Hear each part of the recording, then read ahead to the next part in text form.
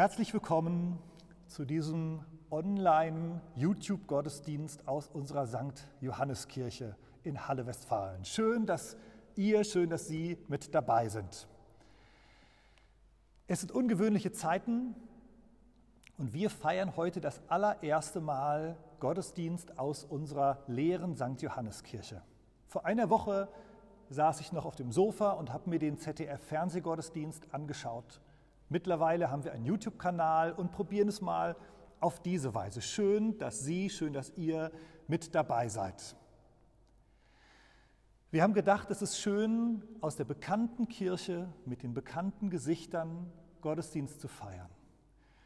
Und es ist so wichtig zu wissen, dass Gott nicht nur hier in der Kirche ist, sondern auch bei euch, bei Ihnen zu Hause. Gott verbindet uns. Er ist uns nah, auch in diesen verrückten Zeiten, an unseren unterschiedlichen Orten. Auch wenn ihr das Video später schaut, er ist bei euch und er verbindet uns zu dieser Online-Gemeinde. Heute ist der Freudensonntag in der Passionszeit, der Sonntag Letare. Die Farbe des liturgischen Sonntags ist pink. Also wenn ihr was Pinkes anhabt, ist es genau richtig.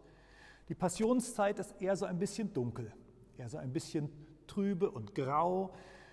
Und der Sonntag Letare strahlt auf, wie, ähm, wie die Farbe Pink aufstrahlt, wie Blumen, die jetzt gerade wachsen auf der dunklen Erde. Es gibt Grund zur Freude, sagt uns dieser Sonntag. Es ist wie ein Hoffnungslicht, das aufscheint. Und wie sehr brauchen wir das, gerade jetzt in diesen Zeiten der Corona-Krise, wo es so viele dunkle Gedanken gibt in unserem Herzen. Und wir hoffen, dass dieser Gottesdienst genau das ist. Ein kleines Hoffnungslicht im Grau unseres Alltags, im Dunkel dieser Passionszeit. Ich freue mich sehr, dass einige Gemeindeglieder diesen Gottesdienst mitgestalten. Und als erstes hören wir, singen wir jetzt das Lied Jesu meine Freude. Wenn ihr wollt, singt doch einfach mit. Vielleicht hört euch ja keiner. Und sonst betet diese Worte mit.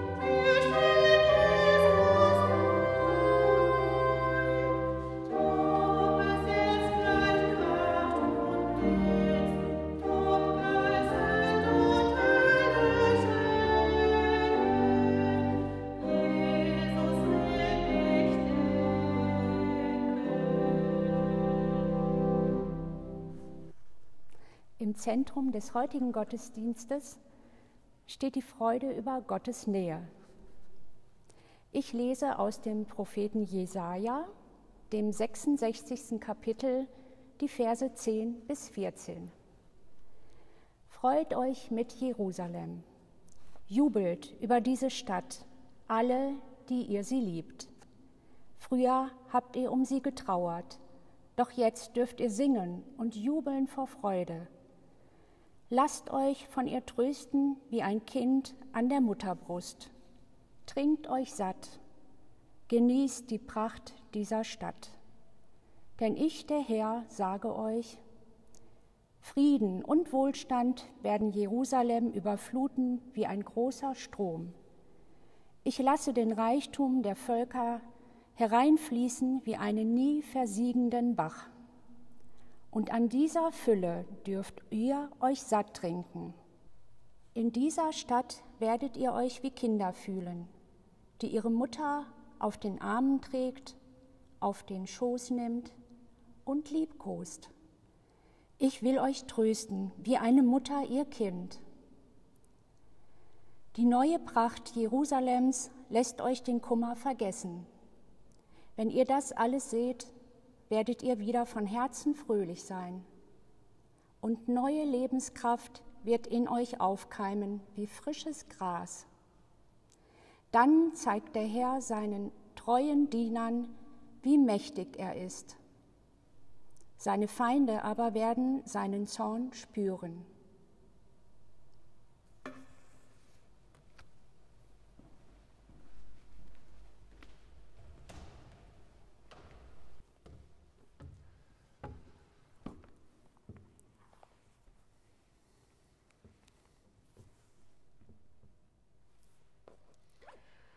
Liebe Schwestern und Brüder, liebe Online-Gemeinde,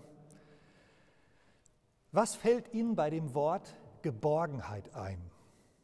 Welche Bilder kommen Ihnen, kommen euch in den Kopf bei diesem Wort? Wenn man bei Wikipedia nachschaut, steht da, Geborgenheit ist ein Zustand des Sicherheits- und Wohlfühls. Mehr als nur Sicherheit, Schutz und Unverletzbarkeit. Geborgenheit symbolisiert Nähe, Wärme, Ruhe, Frieden. Übrigens wussten Sie, dass das Wort als unübersetzbar gilt. Also es gibt das Wort im Niederländischen, aber im Englischen oder Französischen oder auch Russischen gibt es das Wort Geborgenheit gar nicht. Welches Bild haben Sie vor Augen bei Geborgenheit? Ich denke an die idealtypische Szene eines Säuglings mit der Mutter. Die Mutter umfängt ihr kleines Kind, wiegt es in den Armen, sie hält es und beschützt es und trägt es. Und das Kind fühlt sich geborgen. Versorgung, Sattheit, Liebe, Freude, alles ist gut. Aber auch das Kinderleben ist nicht nur Friede und Freude. Ich meine, es gibt diese Momente, wo der Säugling schreit, gerade in den ersten Monaten. Ich kann mich noch gut daran erinnern, wie ich mit einem unserer Kinder nachts über den Flur gegangen bin, hin und her, und er schrie und schrie.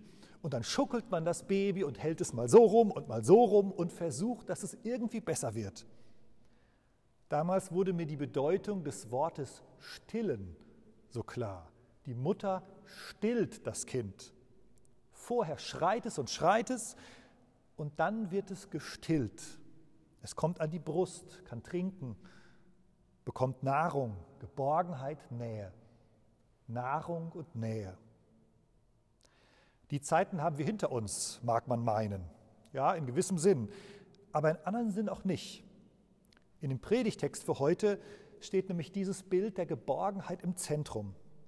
Gott sagt zu seinem Volk Israel, ihr werdet euch fühlen wie Kinder, die ihre Mutter auf den Arm trägt, auf den Schoß nimmt und liebkost. Ich will euch trösten wie eine Mutter ihr Kind. Vor ein paar Jahren war das die Jahreslosung. Vielleicht erinnern Sie sich noch daran. Es geht hier im Kern darum, dass der Prophet Jesaja das Bild einer stillenden Mutter auf Gott anwendet. Gott ist nicht nur wie ein Vater, Gott ist auch wie eine Mutter. Er schenkt Geborgenheit. Er stillt unsere Sehnsucht, unser Verlangen. Das Volk Israel brauchte diese Zusage, weil der Alltag so leidvoll und schwierig war. Wir wissen nicht genau, in was für eine Situation diese Worte hineinsprechen. Das Volk Israel wurde von der Heimat deportiert. Vertreibung, Flucht, Gefangenschaft, Entwurzelung. Was das mit einem macht, wissen noch einige, die das erlebt haben nach dem Zweiten Weltkrieg. Aber auch in den letzten Jahren erleben Hunderttausende wieder neu dieses Thema Flucht, Vertreibung, Entwurzelung. Und das Volk Israel ist im Mark erschüttert. Und dann geht es irgendwann wieder nach Hause aus der Gefangenschaft und sie müssen wieder von vorne anfangen. Trümmer, Wiederaufbau, Neuorientierung. Und mitten in diese Unsicherheit und in diese Zukunftsangst hinein spricht Gott. Ich will euch trösten, wie ein seine Mutter tröstet. Ich will euch Zukunft schenken, Geborgenheit. Spannend ist, dass in diesem Abschnitt Jerusalem eine besondere Bedeutung hinzukommt. Wenn wir an Jerusalem denken, denken wir an die Stadt, die politisch und religiös zerrissen ist. Im Grunde ist Jerusalem gerade ein Bild für Unfrieden, für Spannungen zwischen Völkern und zwischen Religionen. Hätte jetzt, es hätte jetzt eigentlich gerade eine Gruppe aus unserer Gemeinde nach Israel fahren sollen. Ist leider auch alles abgesagt. Damals und vielleicht auch heute noch verbinden aber Juden mit Israel ein, mit Jerusalem einen anderen Klang. Jerusalem steht für die Nähe Gottes, für den Ort, an dem der Tempel stand oder steht, das Zentrum des Glaubens, der Ort, an dem Gott Menschen nahe kommt, gelobt wird und gepriesen wird. Doch in der Realität damals war Jerusalem zerstört. Vielleicht hören die Israeliten diese Worte in der Situation, wo sie wieder zurückkommen aus dem Exil. Jerusalem liegt in Trümmern und sie denken vielleicht, es hat doch alles keinen Sinn. Das schaffen wir nie, das alles wieder aufzubauen. Die Probleme sind zu groß, das kriegen wir nicht hin. Und in diesem Abschnitt verspricht Gott nun, freut euch mit Jerusalem, jubelt über diese Stadt, alle, die ihr sie liebt. Früher habt ihr um sie getrauert, doch jetzt dürft ihr singen und jubeln vor Freude. Lasst euch von ihr trösten wie ein Kind an der Mutterbrust. Trinkt euch satt. Genießt die Pracht dieser Stadt, denn ich, der Herr, sage euch, Frieden und Wohlstand werden Jerusalem überfluten wie ein großer Strom. Ich lasse den Reichtum der Völker hereinfließen wie einen noch nie versiegenden Bach. Ich will euch trösten, wie einen seine Mutter tröstet. Jerusalem wird wieder strahlen. Jerusalem wird wieder aufgebaut. Und mehr, Gott selbst wird durch Jerusalem seinem Volk nahe sein, Geborgenheit schenken. Es ist so, als ob die Mauern der Stadt wie die Arme Gottes sind, mit denen er die Einzelnen behütet und beschützt und Geborgenheit schenkt. Zweifelt nicht, sagt er. Gott wird euch helfen. Es gibt Hoffnung. Es gibt Grund zur Freude. Und was hören wir? Was sagt Gott uns durch diese Worte vom Propheten Jesaja, die schon so alt sind? Was sagen die Worte uns als Christen in Deutschland im Jahr 2020, mitten in Zeiten von Corona? Es wäre spannend zu wissen, was ihr aus diesen Worten hört. Ihr könnt unter das Video in den Kommentaren was reinschreiben, was euch bewegt. Mir auch gerne eine Mail schreiben. Ich sage kurz, was ich höre. Ich höre im Moment in Deutschland viele Herzen, die unruhig schreien, wie ein nicht gestilltes Kind. Ich sehe Trümmer auch in unserem Land. Die Corona-Krise zertrümmert im Moment viel. Unseren normalen Alltag, eingeschliffene Routinen, das Familienleben, das so geregelt vorher war, manche Nachbarschaften, Firmen, Geschäfte, Pläne, Urlaube und vieles mehr. Und ich nehme wahr, dass viele sich fragen, wie geht es weiter? Kann ich Hoffnung haben? Was bleibt? Wer überlebt? Wer hilft mir? Ich höre die Worte Jesajas in diese Situation hinein, die zwar anders ist als damals in Israel, aber auch ein paar Parallelen hat. Freut euch. Ihr dürft jetzt singen und jubeln vor Freude. Ihr werdet euch wie Kinder fühlen, die ihre Mutter auf den Armen trägt. Ich will euch trösten wie eine Mutter ihr Kind. Jerusalem hat für uns als Christen eine andere Bedeutung bekommen. Vor den Toren Jerusalems wurde Jesus an das Kreuz gehängt, hat die Trümmer unseres Lebens getragen, schenkt Frieden. Dem, der zu ihm kommt, ist auferstanden, lebt. Aus christlicher Sicht hat Jesus den Tempel abgelöst. In Jesus ist Gott uns jetzt nahe. In Jesus umarmt er uns. In Jesus tröstet er uns. Weicht ihr Trauergeister, denn mein Freudenmeister Jesus kommt herein. Oder unter deinen Schirmen bin ich vor den Stürmen aller Feinde frei. Ob es jetzt gleich kracht und blitzt, ob gleich Sünd und Hölle schrecken, Jesus will mich decken. So dichtet Johann Frank in dem Lied Jesu meine Freude, das wir zum Eingang gehört haben. Unser Jerusalem ist Jesus Christus, der Sohn Gottes. Jerusalem hat für uns Christen auch noch eine andere Dimension. nämlich einer zukünftigen Dimension. Irgendwann wird Gott alles neu machen. Irgendwann schenkt Gott ein neues Jerusalem. Können wir in der Offenbarung 21 lesen. Hier auf der Erde ist alles Stückwerk. Auch der Trost Gottes, auch die Nähe Gottes. Es kommen immer wieder Zweifel und Not. Die Seele schreit immer wieder wie ein ungestilltes Kind. Aber ich kann Hoffnung haben auf eine Zukunft, die Gott schenkt. Und so nehme ich mit, in der Nähe Jesu kann ich Frieden erleben, auch mitten in den Trümmer des Lebens. Ich kann erleben, wie Gott mich umarmt, so wie eine Mutter ihr Kind. Bei Jesus kann unser müdes Herz zur Ruhe kommen, aufatmen, still werden, Geborgenheit erleben, nach der wir uns oft so sehr sehnen. Auch wenn es noch nicht vollkommen ist, wir leben doch in der Hoffnung auf ein neues Jerusalem. Eines Tages wird Gott alles neu machen. Darauf freue ich mich schon. Und bis dahin möchte ich Zuflucht suchen bei Jesus Christus in den Armen Gottes. Armen voller Liebe und Barmherzigkeit und Geborgenheit. Und möchte beten, du bist mein Zufluchtsort. Ich berge mich in deine Hand, denn du schützt mich, Herr. Wann immer mich Angst befällt, traue ich auf dich.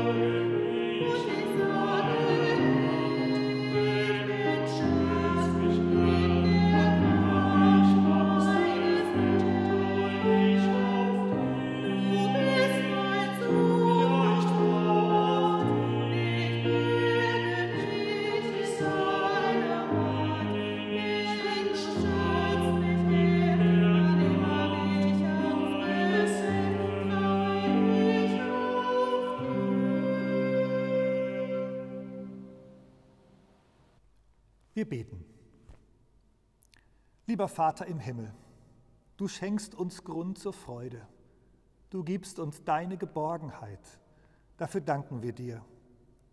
Und wir bitten dich jetzt für diese weitere Passionszeit, die Wochen bis Ostern. Lass uns doch in dieser Zeit bewusst leben, dir näher kommen.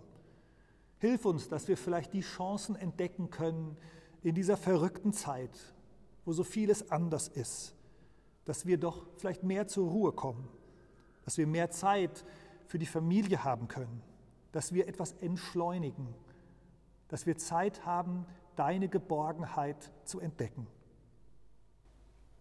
Wir bitten dich für alle, die im Moment von Sorgen und Angst vor Krankheit, Infektion und der Zukunft insgesamt bedrückt werden. Der Alltag ist so anders im Moment. In den Familien ist es herausfordernd, auch für die Kinder, die zu Hause bleiben müssen. In vielen Betrieben herrscht Kurzarbeit und die Angst vor Arbeitslosigkeit. Viele Selbstständige wissen nicht, wie es weitergehen soll.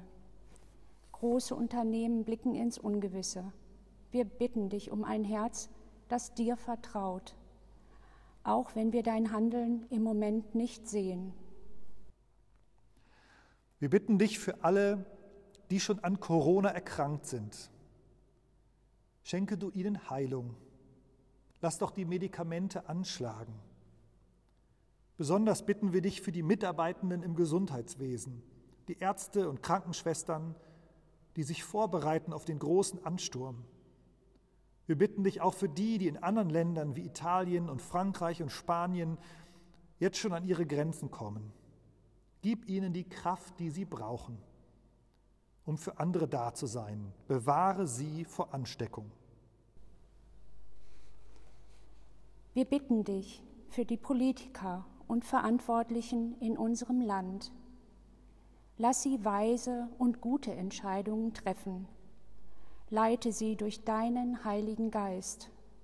Schenk uns allen Vertrauen auf dich, auf deine schützende Hand, auf dein Eingreifen und deine Gegenwart in unserem Leben. Und gemeinsam beten wir, Sie können das vor Ihrem Fernseher oder vor Ihrem Laptop oder Computer auch einfach mitbeten. Vater unser im Himmel, geheiligt werde dein Name, dein Reich komme, dein Wille geschehe, wie im Himmel so auf Erden. Unser tägliches Brot gib uns heute, vergib uns unsere Schuld, wie auch wir vergeben unseren Schuldigern. Und führe uns nicht in Versuchung, sondern erlöse uns von dem Bösen. Denn dein ist das Reich und die Kraft und die Herrlichkeit in Ewigkeit. Amen. Schön, dass ihr, schön, dass Sie mit dabei wart bei unserem kleinen Kurzgottesdienst. Ich wünsche Ihnen und euch ganz viel Kraft in der kommenden Woche bei all den Herausforderungen des Alltags. Bleibt behütet, bleibt gesund. Bei Fragen schreibt einfach in die Kommentare oder schreibt uns eine E-Mail. Auf der Homepage findet ihr, finden Sie auch die Telefonnummern von uns Pfarrern, Pfarrerinnen. Sie können uns gerne anrufen. Wir stehen für Gespräche am Telefon sehr gerne zur Verfügung. Nächste Woche versuchen wir das wieder, so einen kleinen Kurzgottesdienst hier aus der Kirche per YouTube hochzuladen. Und jetzt wünsche ich Ihnen Gottes Segen und spreche uns am Ende des Gottesdienstes noch Gottes Segen zu. Der Herr segne dich und behüte dich. Der Herr lasse sein Angesicht leuchten über dir und sei dir gnädig. Und der Herr erhebe sein Angesicht auf dich und schenke dir Frieden. Amen.